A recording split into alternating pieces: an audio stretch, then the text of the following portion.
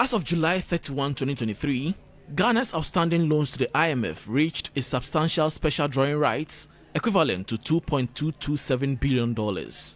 This is $451 million increase from the $1.246 billion recorded just three months earlier on April 30, 2023. The increase in debt can be attributed to a $600 million bailout package that Ghana secured from the IMF in June 2023.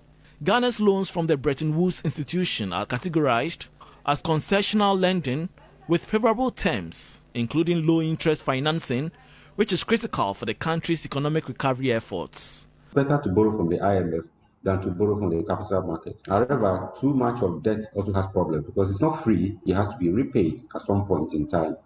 So that will have repercussions on our expenditure because we have to service these loans. So as we borrow, we ought to caution government that our appetite to borrow, especially from the capital market, to be kept.